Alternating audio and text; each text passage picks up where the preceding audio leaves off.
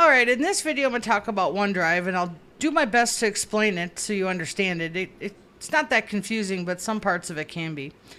OneDrive is basically a file synchronizing program that uh, you install, and it can synchronize your data between your computers, your phone, uh, tablets, whatever. And there's OneDrive for home and OneDrive for business, and there's a little bit of a, a difference in the two, of course, and I'll explain that as we go here. Uh, OneDrive is kind of like Dropbox, and there's tons of other file synchronizing programs. The the problems that some of my clients have had with OneDrive is that it never stops synchronizing, and it can cause a lot of problems. Uh, a lot of people sometimes like put up a lot of data in it because you can. They give you one terabyte of space.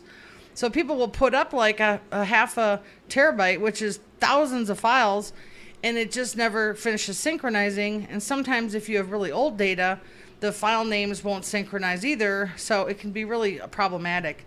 And I'll, I'll be honest, some of my clients that call in with problems, I tell them just move to Dropbox. And they do because there's uh, the team Dropbox and there's other options now. And it just works better. But OneDrive works great for some situations. Like OneDrive in the cloud is awesome, it works great.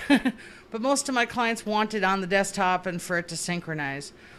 And um, on the Office 365 business side, here's what I try to tell people is OneDrive is meant for you as an employee on your, you know, on your whole company's Office 365 for you to share it with yourself.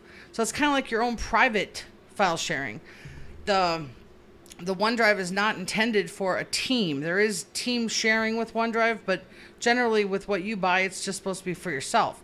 So a lot of my clients will call in and say, well, we're having problems with permissions and sharing and all this and that. And I said, yeah, because you're using the wrong version. And I don't work with bigger companies that have the team OneDrive, so I really can't speak upon that and how they set it up.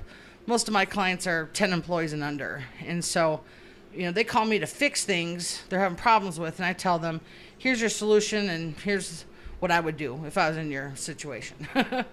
um, you can also purchase OneDrive alone too. It's not a product you have to purchase. And uh, I think you know I always try to just to manage the expectations with people before they buy it, what it does and what it doesn't do. So I just told you that, and uh, what to expect out of it. And if there's problems, you know it can take a technician a long time to fix a OneDrive issue, and that's costly. And you're already paying for the product from Microsoft or whoever. So you got you know keep that in mind that uh, to have that repaired is very expensive sometimes. Not all the time, but it can be. Uh, so I can't think of anything else about OneDrive, really. Um, except it's just private cloud space. People that use it online, I never hear a problem with them because everything online kind of always just works. You know, I've never had to fix something online that I know of. And if you did buy it from Microsoft and you have a problem, make sure you call Microsoft support because they you know they they they created it they sold it to you and you should call them for assistance okay folks that's it for this video see you in the next one